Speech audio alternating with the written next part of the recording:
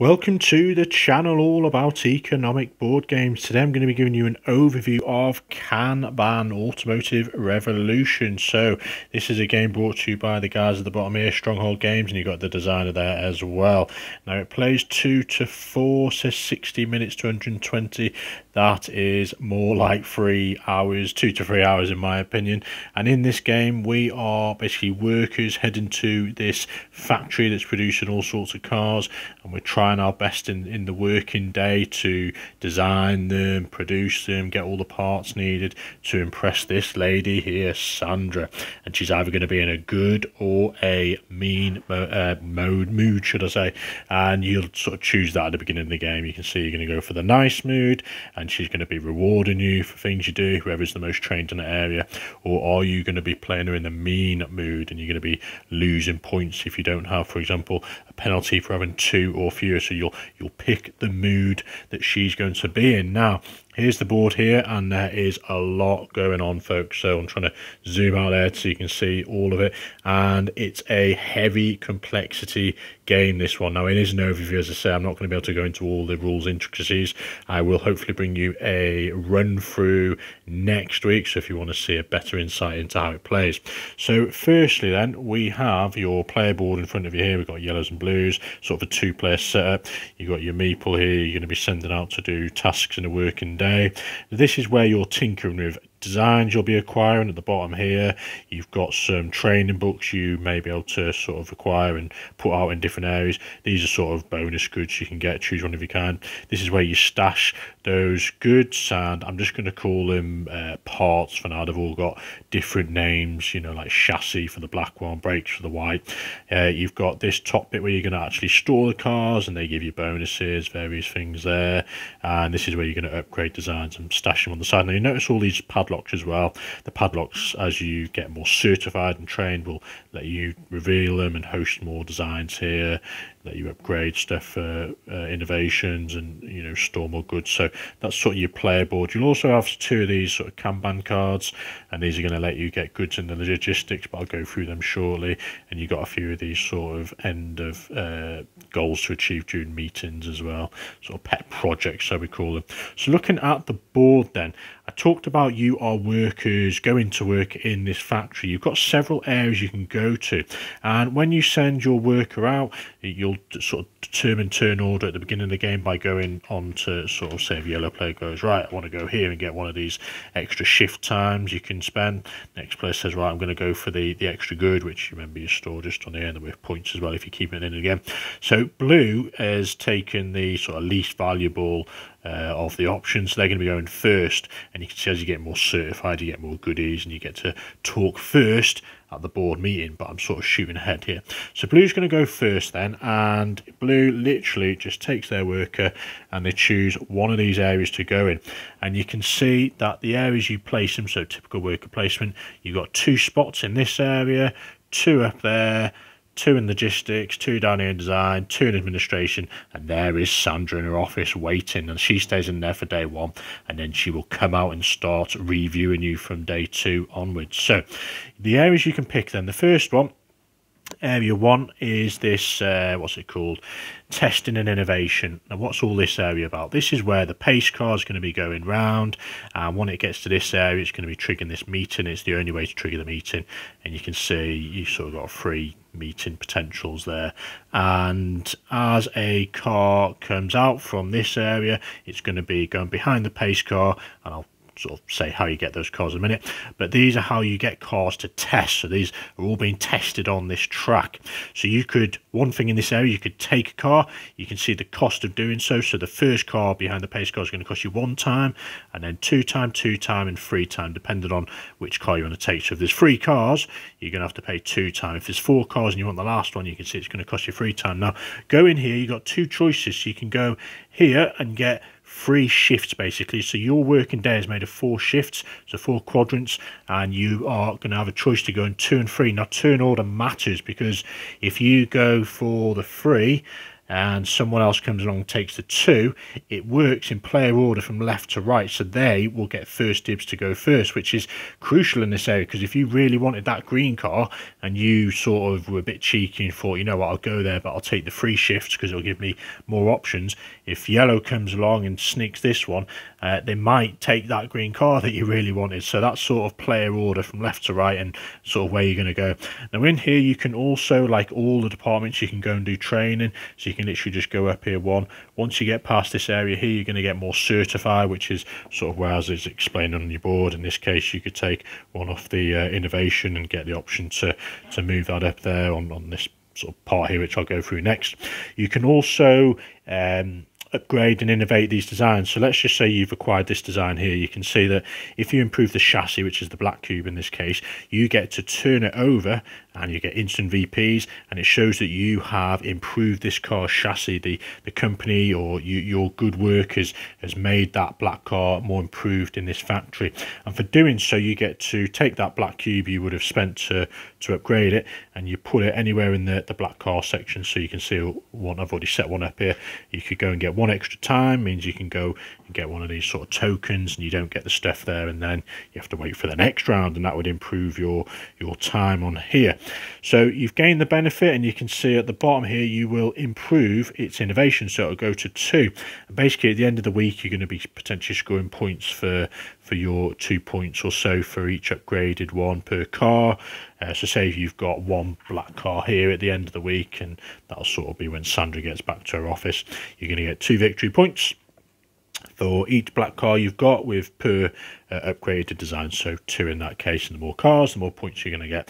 Now you want to do more innovations on the black car, so the more things you improve, let's just say you improve the, the orange aspect of the car, this is going to go up, and that's going to be with more victory points at the end of the game, depending on how many cars you got and how many upgrades you've done to that car. So this is the innovation side of it. You can get some nice benefits, and you can see there's a few extra sort of uh, possibilities to get extra seats at the boardroom by having the first person to get two uh, innovations, uh, design and, and free. And whoever's got three cars or five cars in their garage at the top, not only do you acquire these benefits, you could choose you want it here and get two books of training, but you're also going to get an extra seat. So that's kind of what you're doing on this area here, testing innovation. I'll, I'll sort of discuss a bit more about the training aspect. So as you go past here, you're going to get that uh, certification, which not only gives you that extra benefit we mentioned on here, but you're also going to go up onto the next stage here. So you start on zero with that determined player order. Uh, let's just say that was yellow, so they get first dibs in here. Let's say they go for the free victory points. Now, whoever is the furthest right along this whole track is going to be the first to speak at the boardroom meeting, which all will become apparent soon. So the next area is this assembly line, and this is where you get all the cars out.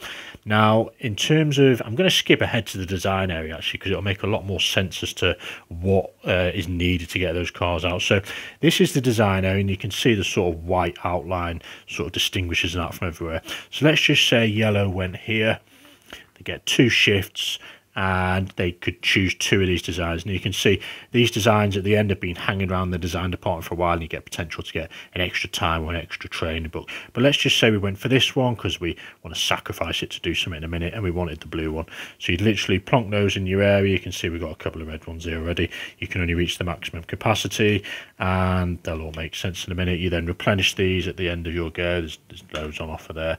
So that's one thing you could do there. You could do the training uh, like in the other department and those designs and that's how you acquire them. And they're important because when you go to the innovation they're the things you're going to be want to testing on. So let's just say for example this blue one we took. If we did manage to get a pink cube we could use that in that innovation department we've already discussed to turn it over. We get two vps and we've improved the engine in this case. And that was this whole area about going to which one was it the blues in this case. So that is designs. You want to get the designs, you want to go and test them, but you then also, or not test them, but improve the innovations. You want to get these cars, and that's how you go through for the assembly line. Now, when you go here, you will be having to put a cube down on one of these areas, depending on which one you want to produce. Let's just say we go for black. Now you can see black has a requirement. We've improved the chassis. I'll get rid of this orange one. We've improved the chassis, so to do so, you have to put a black cube first. Someone else has already done that. Next cube we can put down is any colour. So let's just go for an orange in this case. And uh, once they're full, they'll all be taken off. But more importantly, we're getting a black car and we'll sort of put it on here for testing and we shift the others down based on the arrows. So this one oh there's one missing there actually. So let's get another black one. So that would have pushed that one, that pushes that, that pushes that. You follow the arrows. We could either go down here or maybe we could go across and push this green one down and then the green one pushes this blue one out. And you can see depending on where it comes out, you might get victory points. So two victory points uh, for that blue one coming out here. Now on the sides, you've got a demand token. So there's demand for green cars and demand for yellow. Unfortunately, it was a blue car. Now if we had a yellow one, we would have been able to take one of those seats, which gives us more power and influence at the uh, the meeting there. Well, not more power and influence, but more opportunity, so I say, to, to talk about things you've achieved. Now, this blue car then comes out, you've got your two points, it then goes on the uh, the track here behind the pace car and that's it now if you did go to this area and you uh, well, an area we've already discussed. Uh, I forgot to add that if you did buy a car and you paid the time, the pace car moves up one space forward and these other cars just follow suit behind it. And I think I already said that if it's ever on the checkered flag or, or beyond it, you uh, move this meeting token way to top it and you're going to be having a meeting. And that is literally it for this area. So you're putting cubes at the top, you're pushing cars down, you're pushing them into this area here because you're hoping to acquire them to add them to your garage, which is a way to score points. Uh, over to the middle logistics section then. So here is where you're going to be getting these cubes for, you know, fulfilling those designs and, and spending them at the top of assembling. How are you going to get these cubes? So you, let's just say yellow, it's gone here. They've got two actions. So you've got these things called Kanban cards, which I sort of showed in front of you. You start with two. Now, all sorts of random colours. You pick one that you fancy and they're normally hidden. You go here, you're going to spend the time, but you also gain a time as well. So now you, you got this sort of line and you pick, you're going to have those four there, not two there, or you're going to do this. So that sort of configuration you can turn it around any any way you want. Now let's just say we went here. You're then going to replenish the departments that match the colors so you can see we've got two orange but orange is annoyingly on this side so that isn't applicable. Pink is here so we put one pink there. Black is annoyingly on this side so we wouldn't do black. White annoyingly is on that side, so we wouldn't do that, and yellow's on that side, so that really wouldn't be the best configuration. But if you really wanted that pink cube for some reason, then that's what you'd do. But you'd more likely probably do that maybe.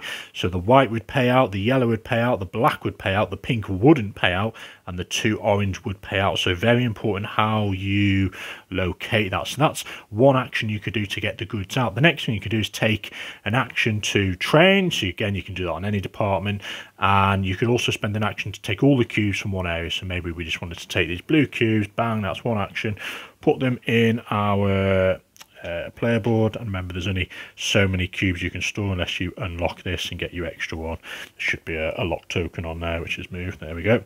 So that's all about logistics. And that's how you just want to get the cubes essentially. Over to administration then. So you can see here if you can't do anything uh, you, if you can't do what you really want to do, let's say, for example, blue and yellow are here and it's a free player game and green really wanted to go to logistics. They could go over to administration and that allows you to do an action anywhere from the board even if people are there which is great. And you can also see sandra's office there and at the top here is the week track. Now i should say how is the game going to end? So from week to week uh, when she gets back to her office so she's going to be coming all the way around and i'll sort of go through that turn order in a minute.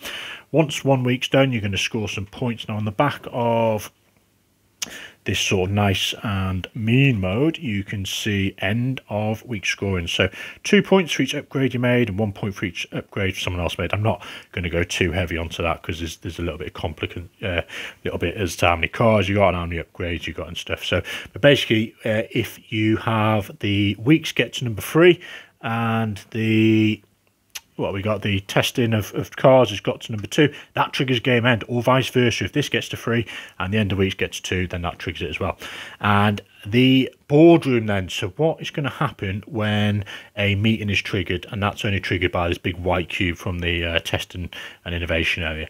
You are all going to be vying for these. Well, you've already acquired these seats. You can see blue's got one seat they've acquired, two for yellow. They're going to be revealed as you get seats from either bonuses or you get them from from completing objectives and a host of other places as well. And the more seats you've got, the more chances you've got to impress Sandra. Now you can see there's four to begin with and let's just pick one to sort of show you what it does. And you've also got those pet projects as well. So in this case whoever is highest on this sort of um, certification track goes first. Yellows here, and yellows are like right. I'm going to go for this one. So they put one of the seats on here. You can only have two players, two seats that go on here, and you can see you're going to score four points for each red car you have in your garage and up to two though so you've got two cars you can do it eight points great if you've got three cars you can only do two of them now the whole point of this is that the first player there gets the benefit of doing the two the next player goes there. Sandra's a little bit bored and she's like right it goes down to one so it always goes down one for the next player. So they will only have the opportunity to score four points for the one car even if they had like four cars. So that's the the key to getting there first is to to make the most of it. You could also choose one of your pet projects. To say if um, what we got? These guys went here. You can see whoever has the most upgrades for this particular part is going to get two. You can do it twice and you get four points for each. So you might want to work on one of those pet projects. And once everyone has put seats out and you, you know, if you've only got one seat, you haven't got a lot of options. But if you've got two, maybe you want to use them all now. You'll tend to find that in the first round or so, there's, um, you know, not too much you can go for. So you're kind of saving them. And that is literally a meeting. You put this cube back and you literally continue. Now, going back to this sort of turn order, you can see that you've got the, in this case, two shifts you can work out of four. If you wanted to do the other two shifts, you could come over and you could spend some time. So let's just say yellow's acquired a couple of shifts. They could spend up to two to complete that full day's work. Now, if it was blue in this case, they could only spend one more time to complete the, the working day. You couldn't just do your three actions and then spend three more because you, you're going over the four shifts in a day. Now, what happens to Sandra then? So these guys have placed their first meeples on that day. On the next turn, so yellow's done their action, they light down, blue's done theirs. Sandra then becomes active and she chooses the first available uh, workspace from left to right. So this one's available. She goes there and then, well, what would happen actually? Let me just start again. So these guys have, uh, have done their goes. Whoever is the furthest left, yellow, will go first. So kind of interesting mechanic there. Whereas, you know, um, whoever's... Uh, you know you, you your first player there so you potentially could just go boom i'm going here and your first player again and again. So but that sort of limits what options you're doing. So let's just say yellow go there. It's now over to blue. They're face down so they get to the side and they're like right i'm going here. It's then over to sandra. Now what she does is she works her way from left to right. This workspace is full. She goes here. And you can see yellow players got in there just in time because when she uh, when the yellow player maybe does a bit of training in this department they're like right i'm going to go up. It means they potentially get rewards for for Sandra's uh, review of this area. And blue goes, and then let's just give you another example of this. So yellow's been, pink's gone, green's go. So it's over to the next round. Yellow's going to go first, and yellow's like, right, I kind of know Sandra's going to be going over to this department. I'm going to go here. Then it's Sandra, and she's like, right, someone's in that workspace, someone's in that workspace. She passes it completely and goes over to here. So then it's up to blue, and they're like, right, I know Sandra's, you know, over there now. I'm going to go through and get maximum spots. So you can see how the, the interesting play between where you go and where Sandra uh, finishes up is, is, is massive. Now, Sandra, when she gets to an apartment, you can see on here that let's just say she's in logistics at the moment. She's going to literally in a good mood. She's going to see uh, the parts. So she's going to remove all parts, uh, but one from each warehouse, and it's going to be a reward for having two or more. So if there's two or more parts, you and you're the highest on the training, you can see they're both uh, even at the moment. You're going to get some points. Wow, there is a lot going on here, folks. I've probably missed a few bits and bobs, but that is essentially it. You get these designs, you're trying to improve them, you're trying to get the parts and logistics as required, you're trying to, you know, innovate these these designs, you're trying to then get cars out of the assembly line, you're trying to grab them onto your garage, and then at the end of the week, you're going to score points for those. You're going to score points at the end of the round for having innovated stuff, and you're trying to, you know, get certified in different areas because you can see whoever goes furthest step you've got five three and one and you get bonuses and more seats and at the end of the uh, at the end the when the meetings happen you're going to want to get victory points for completing these if that zooms in and from your pet projects as well. And there's just a host of other vps just all over the place for you know these here these here these bonuses. So a lot of goodness going on. This is not for the faint hearted this game. I think if you want something a little bit simpler maybe try automania is another one that's quite similar and it's got a bit more of that demand and the markets in it as well well, whereas this is more focused on that sort of production side and the intricacies of, of designing good cars and impressing Sandra in the board meeting. So there we are, folks. Hope that's been of use to you guys.